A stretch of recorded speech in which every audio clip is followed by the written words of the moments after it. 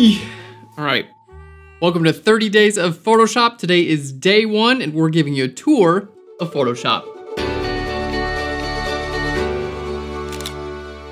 Hey there, and welcome to Phlearn. My name is Aaron Nace. You can find me on phlearn.com, where we make learning fun. And welcome to this special 30 Days of Photoshop series. Now, if you haven't already done so, be sure to sign up for the 30 Days of Photoshop. You can just follow the link, boop, right up there where you can download the sample images. You'll also get a calendar where you can follow along, descriptions of each of the individual days, and everything that you need to go from beginner in Photoshop all the way to master things like compositing, retouching, and more. So today is day one. We're starting off with a tour of Photoshop and talking about the benefits of using Photoshop as compared to other image editing programs.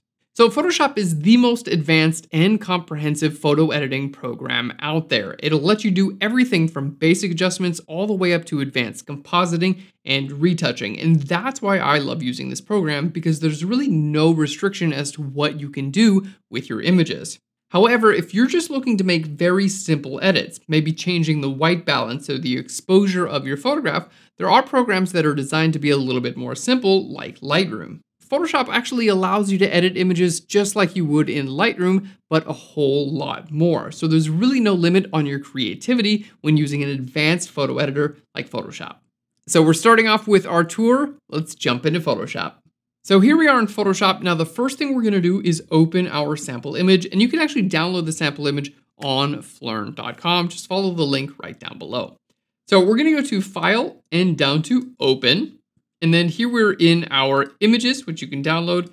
And we're gonna go to tourphotoshop.jpg. We've got a fluffy looking, awesome picture of a dog. And to start off, I'm gonna click on F for full screen. That's just gonna hide everything else. So we basically see just our image.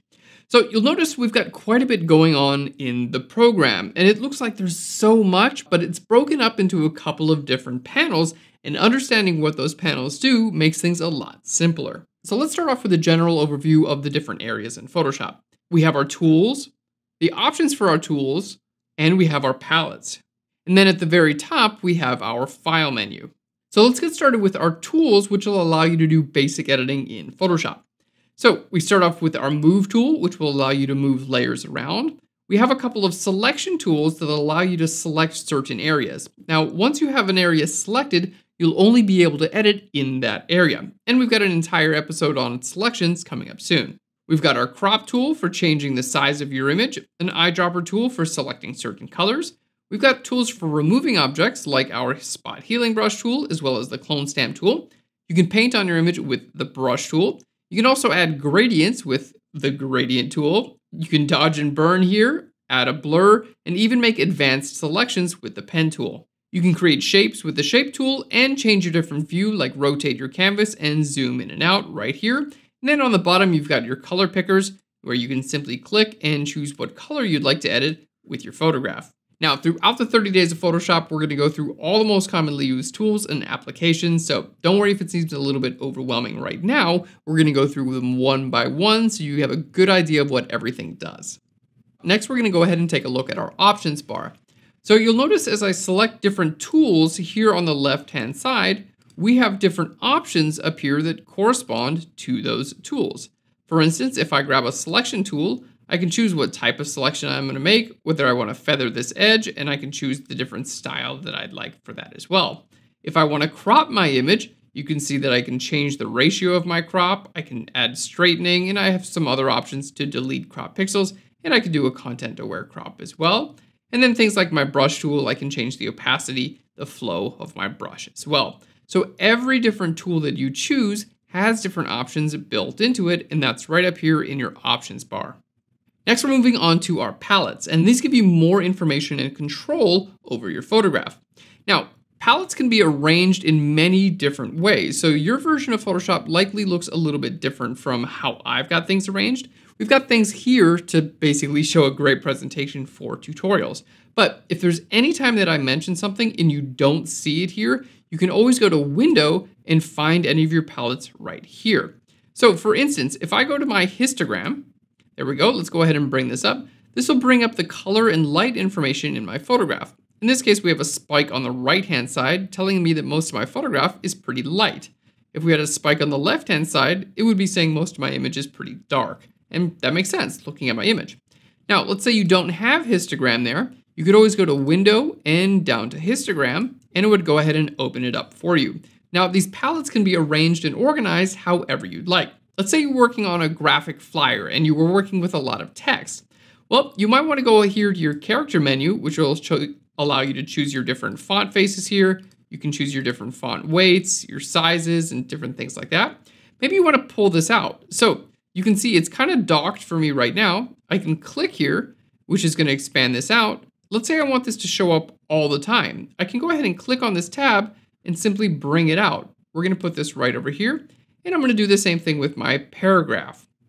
There we go. So as I'm using my type tools, these are always going to be there. As I move my image around, you can see these are going to stay there the entire time.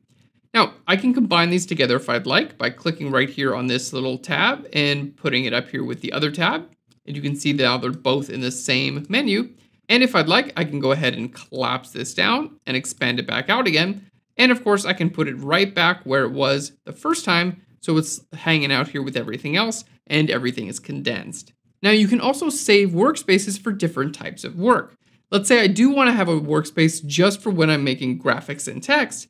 Well, I can go ahead and click these out. Let's go ahead and expand them. There we go. So we have our character menu and our paragraph menu, which I want to be always visible. Next, I'm going to go ahead and save these out by going to Window, down to Workspace, and going to New Workspace. And we're just going to call this Graphics and Text. Now, you can decide what you'd like to actually be uh, part of this workspace. You can save your keyboard shortcuts, your menus, and your toolbar. In this case, we're just going to hit Save. And this is going to be my graphics and text now. Now, I'm going to go ahead and put these back and let's say the next time we want to work on our graphics and text workspace, all we have to do is go to Window, down to Workspace, and go to Graphics and Text, and take a look at that. They're exactly where we saved them as. Or I can go back to what we were before, just Aaron Tutorial, and they're back right over here, and I can go ahead and nest them together again. So you can add or remove different palettes based on the type of work that you're doing and based on what you commonly use in Photoshop. So my suggestion after the 30 days of Photoshop would be to figure out which of these tools you actually use frequently and have those visible, and then go ahead and hide everything else. You can always get back to it again just by going to your window menu. So here's some of the common windows that I tend to use. Here we have our history, our property window, our histogram, and adjustment layers. Next we have our brushes and our brush settings. Next we have our characters, our paragraph, and some actions as well. So you can rearrange these again at any time you'd like, add or remove them. They don't go away permanently, you can always put them back. Next, we're moving on to some larger palettes. Now, I have my Navigator palette here, very large. The only reason for this is so I can put a video of me right up here in the very top corner so you can see me at all times during these tutorials. When I'm working in Photoshop, generally I have a slightly different layout if I'm not making a tutorial. And down here we have our layers, channels, and paths, which are all grouped together. For now, we're just gonna talk about layers, which are one of the cornerstones of working in Photoshop. So our day three of Photoshop is all about layers. We're gonna show you everything you need to know.